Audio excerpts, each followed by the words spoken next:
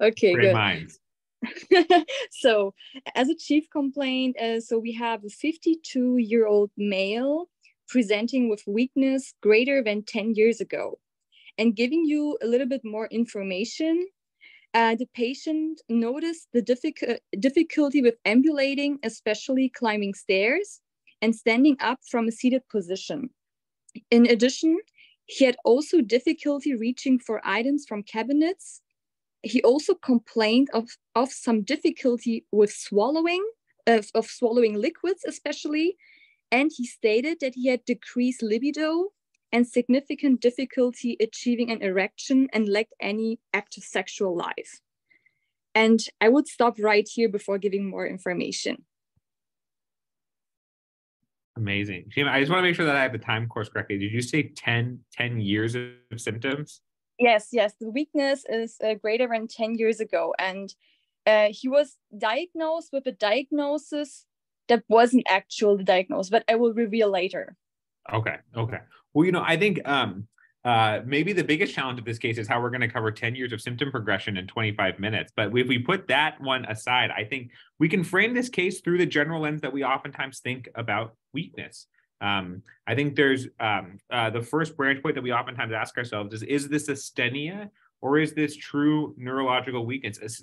Asthenia referring to the sensation of weakness, but um, not necessarily the absence of weakness on, or not necessarily the absence of strength on exam. So when we have a URI or Shema right now, while she's feeling unwell, may feel a little bit asthenic, right?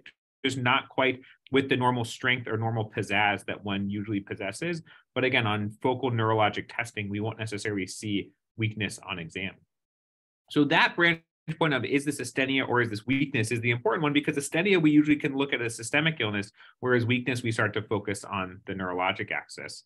Uh, within the neurologic axis, right, we can think about the um, uh, central processes like the brain or the cord, as well as the anterior horn, which can so, sort of manifest usually looking more like a peripheral process. And then we can also think about more of the characteristic peripheral nervous system, like the neuro, like the peripheral nerves the NMJ and the muscles. The pattern of this individual's weakness, with primarily being pro- proximal muscle weakness, right, using the quads to get up out of the chair and the deltoids to reach for things or to comb to comb one's hair, starts to localize primarily into a myopathy. That's usually the distribution of weakness that we see in individuals who are suffering from a myopathy. But I think like um, uh, I'm tempering that um, uh, precision here just given the fact that uh, these symptoms started at an age range of 12 years old, which is not um, which is not a uh, uh, a population that I'm necessarily super comfortable taking care of. So I'm curious if how how these how those features of like the age and the tempo are are influencing your thoughts, Charmaine. Yeah, so the patient is 52, not 22, just FYI, Jack. Ah, thank you so much. Yeah, yeah, yeah. yeah. Um, now, like, yeah, I was like, oh, 22. I'm like, ooh, genetic pediatrics. this is a great thought exercise, just a little bit out of scope of my comfort. Um, yeah, no, I love your discussion so far, Jack. I think the question becomes like, hey, is this kind of a chronic condition that has now worsened with new symptoms uh, and it's evolving? Or, you know, is there a background of this like asthenia of some sort of new uh, like deficits, which I think we can get a little bit more clarity as we get more history. I love your discussion. I was like thinking about more proximal as well. And I think like myopathies is a good discussion. Um, so I can focus on um, the other aspect of her presentation, which I think if I heard correctly, she also has difficulty uh, swallowing, especially liquids. So um, thinking about dysphagia, I often think about like, uh, you know, uh, like Steph Lay had a great uh, CP blog post about dysphagia that I highly recommend. But basically, thinking about oropharyngeal versus esophageal, um, kind of a dysphagia with oropharyngeal, thinking more motility and structures, you know, strokes, dementia. Usually, people tend to have more oropharyngeal dysfunction. With uh, her presentation specifically, with saying liquid getting stuck, it makes me more worried about esophageal, especially in a setting of like this background of like a uh, myopathy or a neurological deficit. So thinking about both esophageal, both structural and motility causes, uh, with structural causes, you know, we tend to initially patients have more uh, troubles with solids over liquids and usually with motility, they have both troubles with both. And, you know, with this side thinking about like maybe is there esophageal pathology kind of ties into kind of her systemic presentations as well. Um so yeah i'm excited to uh, learn more uh, Shema. amazing discussion. So uh, i would now give you some more detailed information about this patient. So first of all um, he was there for treatment uh, with um, intravenous immune globulins because um, it was presumed that he, he was that he was having polymyositis and um, also giving a, a, little bit more of the um, HPI. He denied any associated pain, no sensory symptoms. And um, coming to his family history, um, he was having an older, uh, older deceased brother with similar symptoms and uh, a maternal uncle and maternal cousins with similar symptoms. And um, now also, um, again, do you, I would also give you the um, examination. So upon examination, um, on the neurological exam, there was lower facial weakness with evidence of myokymia in the chin muscles and tongue atrophy with fasciculations. And the strength testing showed proximal weakness in the upper and lower extremities with trace to absent reflexes. And we also noted that he was having some gynecomastia. I hope I pronounced it correctly. And also um, some other information about the patient. So he was carrying the diagnosis of polymyositis back um, since 2000 and at the time of the investigations, he was having a CK of over 1,500. And in the MRI, we found some atrophy and increased signal in the T1 images, but we didn't do any EMG, we didn't do any nerve conduction study, and we didn't perform any muscle biopsy. So, because I thought he had polymyositis, he was treated with um, some high dose prednisone, which did not improve his clinical symptoms, but did improve C- but did improve his CK levels, according to his wife. So he was treated with various immunosuppressants, but way failed. Like he was treated with MTX, azathioprine, cyclosporin, MMF. Yeah, and I would stop right here. Wow. What a case. Um, Shema, thank you so much for uh, sharing. And I'll share some initial thought and then have Jack uh, add to it. Um, so I think is definitely, uh, I'm making a note that there it might be like a familial component to this uh, illness uh, with you know multiple family members having some form of weakness. However again you know uh, it would be helpful to kind of drill down kind of you know weakness it's a really big bucket. So like there's symptomatology and how it's similar and different from the patient. Um, so now going uh, through the exam, uh, you know, with kind of the fasciculations, absent reflexes, and also lower, uh, facial weakness, you know, thinking about both like the upper motor neuron and lower motor neurons involvement and, you know, kind of the, with the dysphagia, you know, uh, a dysfunction, you know, like ALS type uh, illness comes to my mind. And whenever I think about that, I also like, kind of think about like the mimickers. Usually they're slow and progressive, but, you know, cervical myel- myelopathies is another good thing to consider when you're thinking these diseases and also your neuromuscular junction disorders. You know, myasthenia uh, gravis, Lambert-Eaton is another one to think about. And in terms of the myopathy world, although this, um, I agree uh, with you, Shema, that this doesn't quite seems like a polymyositis type pictures. Inclusion body myositis sometimes is a good mimicker um, to think about as well, and a progressive like kind of muscular atrophy uh, of some sort. Um, so those are like uh, you know i'm kind of debating between this like uh, upper motor neuron and lower motor neurons presentations together. Um, and you know there's like vitamin deficiencies to think about as well you know b12 all of that jazz. Um, anything to add um, jack? Um, i'm curious to also hear like how you're incorporating the gynecomastia in this. Yeah honestly i think it's um uh, I'm really grappling here with sort of the the um, signal for an inherited disorder, particularly given what you had mentioned in terms of the family members, but also the fact that this seems like it's something that um, uh, it seems like it's a disease process that is sort of um, not necessarily fitting uh, neatly within the classic presentation that we might expect to see for certain inherited disorders. For example, something like Duchenne muscular dystrophy, right, usually has a much, much earlier age of onset than we would see here with this person who presented in their 50s, but with symptoms early on in their 40s. And so I completely agree with you, sort of looking at the, the combination of the upper motor neuron disease um, and, uh, or I guess possibly motor motor neuron disease in general, with there being both bulbar and and peripheral muscle symptoms. I think the ALS comes into play 100%. Um, the way that I think I'm I'm folding in the gynecomastia here is sort of saying, you know, is this true, true, and related, or is this true, true, and unrelated? There is a long list of things that can cause gynecomastia for individuals in the primary care setting. Most commonly, things that we may see are going to be medications that someone might take, for example, spironolactone and other MRAs. Um, uh, but but particularly spironolactone can cause the development of gynecomastia, and then we can also see certain other disorders of the endocrine axis.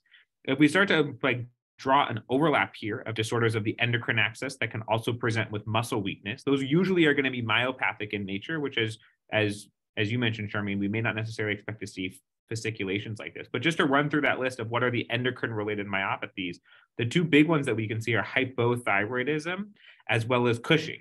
Um, and so can then um, could both of those potentially cause gynecomastia? I don't know honestly about about hypothyroidism, it seems plausible, right? If the if the HPTA axis is on the hook in some capacity, you can sometimes see changes in these hormones because there's such an intricate link between the various hormone systems. Thyroid hormone and sex hormones can play a role in influencing one another. But I think certainly we can see gynecomastia associated with Cushing syndrome. But the crux of that here is that Cushing's disease that, that goes undetected for 10 years, we would expect to see many of the other characteristic features of glucocorticoid excess, right? Things like diabetes, changes in skin like striae, weight gain, the presence of the buffalo hump on the posterior spine, and those features seem conspicuously absent. We've talked before about how individuals with ectopic ACTH production can sometimes have an atypical Cushing's phenotype. But again, you would expect that something brewing for 10 years would make itself known. And so I think I'm grappling with like, is this an endocrine process that's impacting the neuromuscular axis, of which case those two would be plausible, or are we actually dealing with two separate paths that we need to explore let's work up the endocrine axis with the gynecomastia and the erectile dysfunction, and let's pursue the neuromuscular axis. That latter path of let's work them up in parallel seems like it'll probably be more diagnostically fruitful, and they may conjoin again down the road. But I think assuming that they're related like this up front um, may lead us to anchor a little bit a little bit earlier on yeah, that was a beautiful thought. Just a big shout out to Alec for uh, doing some Googling uh, and finding Kennedy disease. And I absolutely right, Alec, like Kennedy disease is such a great thought. Um, here, my understanding is that like, you know, age of onset tends to be like fourth or fifth decade with Kennedy's and it's a spinobulbar muscular atrophy. It is genetic, I think. Um, so that is kind of fits nicely into this uh, disease as well. And it causes like proximal muscles. I think both the the tongue atrophy is quite unique. And um, I didn't know that it actually can cause gynecomastia as well, which just seems to be a, a unique feature of it. So uh, that is a really, really great thought, Alec. Um, and gynecomastia is a good learning for me here too. So that's definitely, I think, a good contender for this patient. Great discussion. So I will now give you some uh, additional information in 2007, he had a muscle biopsy which showed end stage muscle atrophy with severe myofiber atrophy and fatty replacement of the muscle. And in 2011, we did a follow up MRI of the right thigh, which showed muscle atrophy and edema in the right thigh. And we also did some swallow evaluation in 2011 that showed trace aspiration with a large bolus of thin liquids with residual in the vallecula. I hope I pronounced correct. And then he received a treatment with uh, IVIG um, over three days, but he didn't show any improvement um, to the prior treatments of prednisone and multiple immune suppressive medications. And I have one last do you also want the electrodiagnostic study or should I stop? Okay, I give it.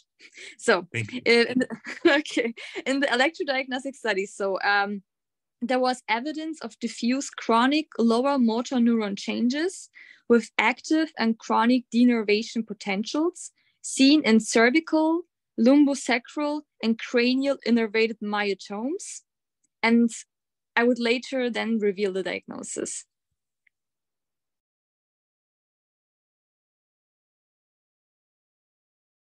All right. Well, it, it seems like we at least have some clarity here based off of the EMG findings that what we're dealing with is actually a neuropathic process as opposed to a, as opposed to a myopathic process exclusively, right? The combination of the elevated CK levels chronically and as well as the lower motor neuron disease, I think can help us a little bit here um, uh, in terms of thinking about the progress that we can make. I say that because a lot, I think things that we had mentioned, although again, I would I would have to look this up, is that something like Kennedy disease that Alec mentioned. I, I have in my brain that that's a primarily a myopathy, but whether it's a neuro, um, uh, uh, I guess a neuropathic myopathy or whether both are on the hook, I would have to. So thank you, Charmaine. So it sounds like it's a pure motor neuropathy. So I think that still potentially stays on on the hook here but i'm getting so far outside of my like zone of comfort or my um, not even comfort just like ability to plausibly reason here um, uh, given that we're potentially dealing with the overlap of genetic inherited um, neuromuscular disorders um, and so i think like if I were to be totally authentic to the case, I would be like, which part of the neuroaxis can we localize this to, and how can we go from there? And I think I would probably honestly at this point focus more of my efforts on falsifying the diagnoses that I that I know of, which can be quite morbid here. So thinking about something like ALS, for example. Um, again, I think we have this sort of hormonal axis that's on the hook here, which doesn't map on well to some of those sort of characteristic motor neuron diseases that we can end up seeing. Um, and so I, I think sort of would be asking the question of like, is does this seem like one of the um, uh, potentially morbid de- degenerative neurologic diseases, for example, like ALS? And if we're sort of able to falsify that hypothesis to a meaningful extent, then I think it's sort of um, uh, I will uh, uh be honest here that I, I don't know that I can take this much further without the help of a specialist. Uh, yeah, I am right there with you, my friend. Um, but yeah, I think I, I, would do the same as you're doing and thinking about like, okay, what are my pure motor syndromes, right? And especially thinking, okay, this is a pure more, uh, motor neuron syndrome. It sounds like we're mostly in the uh, PNS, and then thinking about the nerves and neuromuscular junctions. And I agree, like probably muscles, myopathy is less likely here. And with the nerves, like, is it anterior horn? Is it a demyelinating syndromes. Uh, again, probably less likely. And then the gen- genetics, I think, like a Kennedy disease, it was a wonderful uh, thought. And I think it quite fits nicely here, given like multiple familial generation. I, you know, Charcot-Marie-Tooth variants, another genetic pure motor thing that I think about that I think is less likely here. But again, uh, and then um, in terms of like neuromuscular junction, I feel like you know myasthenia is always a good thing to consider in these type of cases. But yeah, I think like kind of a genetic pure motor syndrome is how I would be thinking about this, and then asking our neurologists for their inputs. Yeah. Wow. The other thing is like we may be able to take it further. I was just looking to like go go back and be like, is there? I um so many times I have overlooked the pattern of inheritance and just going back here and be like, is there anything that we can glean from this as well? That sounds like it's primarily men in the family, oops, who have this affliction. Um, and coming from the maternal side, sorry, we have a timer on the lights here. And so, um, uh, like, are there are there other X-linked diseases that, that this could be? Because I think the at least the pattern of inheritance that we see here seems like it could follow in an X-linked inheritance pattern.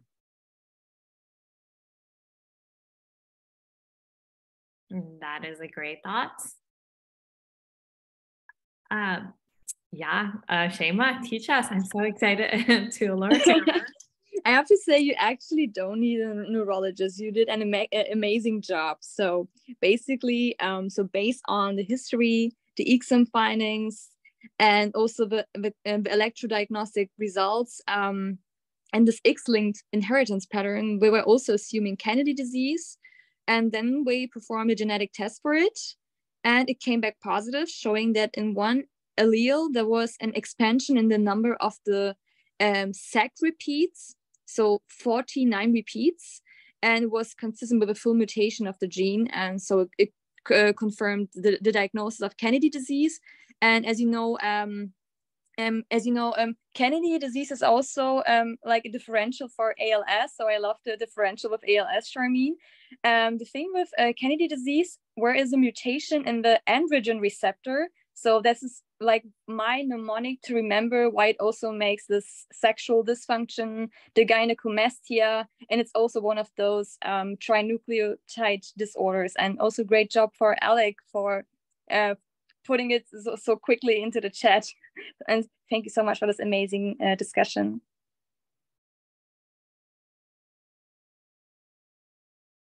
Thank you so much, Jamie. Again, like um, uh, I keep on keep on coming coming back to this theme of like finding um, finding the edges of knowledge, and I think found the edges quite early in this case, which means that there's um, quite a bit be, uh, on the horizon to learn from here. But yeah, thank you so much for bringing this, and what a fascinating case to get to think. I mean, you know, like um, these are things that we end up that we may have some ex- exposure to to read about, but I think if it wasn't for this space and this group, um, the ability to actually think through a case like this and see how it unfolds in reality is something that I may never see over the course of my career. So it's uh, uh, it's wonderful to have the opportunity to get to sort of think through it in real time like this.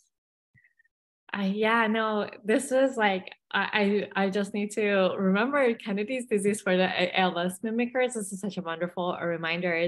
And another pro for uh, Kennedy disease.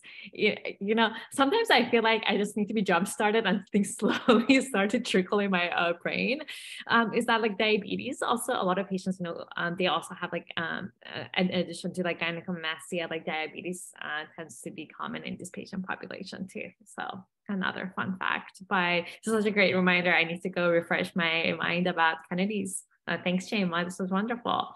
All right, Yasmin, we're ready for you. Wow, thank you for this amazing case. I didn't know about Kennedy disease until today. So um, thank you very much for all the amazing pearls this discussion. And so we approached this patient with the weakness. Is it asthenia or is it neurological weakness? And Dr. Jack told us that for asthenia, let's look for systemic illnesses. And if it's a true neurological weakness, we have to determine if it's a central issue, being brain or spinal cord, especially the anterior horn, or a peripheral system issue, especially neuromuscular junctions. Uh, we should test motor and strength in all limbs. And uh, Dr. Charmaine told us if uh, there is if this weakness has worsened how has it evolved? Is it accompanied by other signs and symptoms? Now we approach dysphagia being oropharyngeal or esophageal. Uh, maybe structures, strictures, strokes, dementia, systemic illnesses such as scleroderma. And if it's only solid, think of mechanical obstruction. If it's both solid and liquid, go more to the neuromuscular disorder option. Now, for combined motor neuron disease, things think ALS, which is actually a DDX for our actual diagnostic. Uh, we went into the causes of gyne gynecomastia, which could be an endocrinopathy such as hypothyroidism and Cushing. But Dr. Jack told us that in this bucket, there will be more signs and symptoms associated. Uh, also, the drugs such as spironolactone. And then uh, Dr. Alec in the chat told us about Kennedy disease, which is an spinal bulbar muscular atrophy that mainly in males under 20s to 40s, although it can happen in elder uh, patients. There is limb weakness, weakness of facial and thumb muscles that lead to dysphagia, fasciculations and tremor, gynecomastia. And to diagnose this rare disease, you will need EMG plus the DNA test. Uh, it's, it's an Alzheimer's care, but we also have to consider that in the differential Guillain-Barré, myasthenia gravis, and multiple sclerosis. Now, to determine if it's neuropathic versus myopathic disorders, we should uh, take into consideration motor neuron symptoms and CK levels, although it's very tricky to find them out.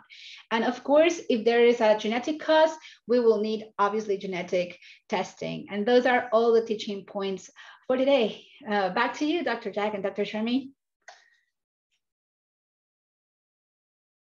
I got nothing else, um, but just uh, yeah, uh, one wonderful teaching points. Yes, thank you for helping us distract um, or uh, uh, distill the learning from this case, and uh, uh, humbled humbled once again by by the VMR space and by Shema. So thanks everyone for coming out today. Charmaine, any final closing words? No, thanks all. It turns out I was not caffeinated enough for Shema case. there was so- no amount of caffeine on that one. all right. Thank you all so much. We appreciate you. Thank you for teaching me and learning with us. Bye. Y'all.